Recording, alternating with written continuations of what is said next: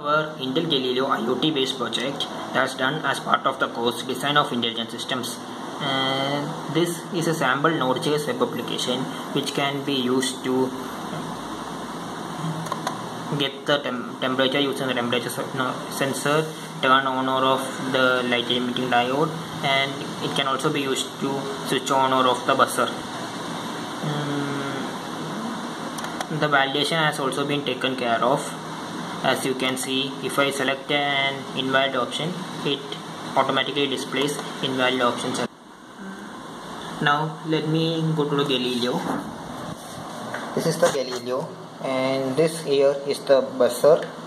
A light emitting diode is connected to the light emitting diode sensor and this is the temperature sensor where this part here is the temperature sensor.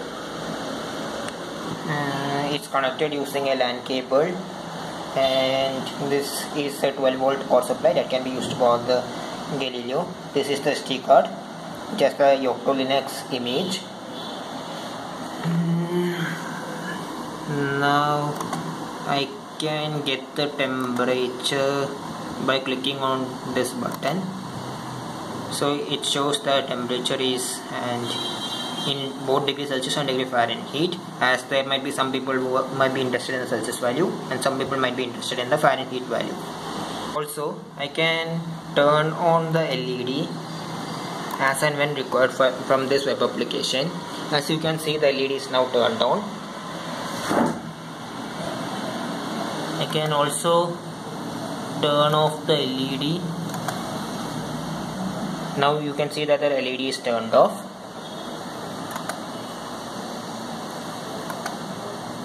I can make the buzzer ring. You can hear the buzzer being sounded. I can also mm, make the LED close simultaneously. You can now hear the buzzer being sounded and also the LED is being blown. I can turn off the noise in the buzzer and you can you can't hear the buzzer sounding anymore can also turn off the LED and the LED has been turned off. This project has been ma made possible uh, by these two people. And you you can contact us for more information by using the contact form available here. Uh, thank you and have a nice day